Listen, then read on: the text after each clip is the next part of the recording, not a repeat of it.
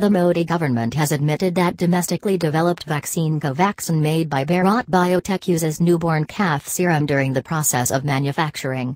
Slaughter of the cow, pink revolution, was one of the emotional issues that PM Narendra Modi used as a prop to barge into power in 2014 and he was inoculated with Covaxin to display his solidarity with the Indian-made vaccine. Newborn calf serum is the liquid fraction of clotted blood derived from healthy, slaughtered bovine calves aged less than 20 days.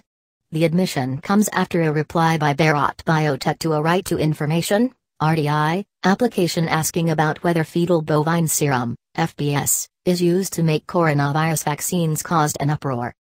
Newborn calf serum is used only for the preparation slash growth of vero cells, Different kinds of bovine and other animal serum are standard enrichment ingredients used globally for vero cell growth. Vero cells are used to establish cell life which help in the production of vaccines. This technique has been used for decades in polio, rabies, and influenza vaccines. These vero cells, after they have grown, are washed with water, with chemicals, also technically known as a buffer, many times to make it free of the newborn calf serum. Thereafter, these vero cells are infected with coronavirus for viral growth, says the Modi government release. Further, the release says that the vero cells are destroyed in the process of viral growth. Thereafter, this virus is deactivated and purified. This neutralized virus is then used to make the final vaccine, and in the final vaccine formulation, no calf serum is used. Hence, the final vaccine does not contain newborn calf serum at all and the serum is not an ingredient of the final vaccine product.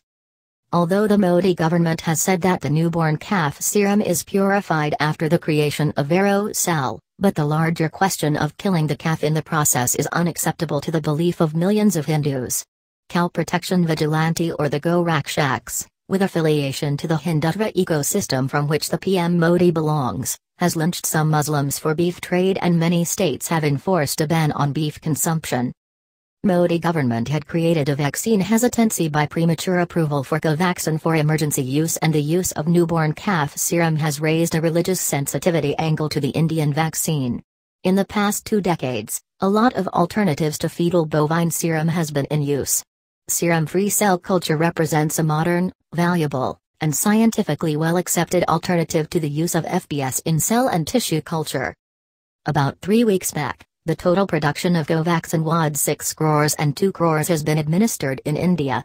This means a large number of Hindus, Jains, Buddhists, and cow-revering believers have unwittingly inoculated by Covaxin. A cow's love for its calf is the purest depiction of the cow's ultimate status of being a holy cow.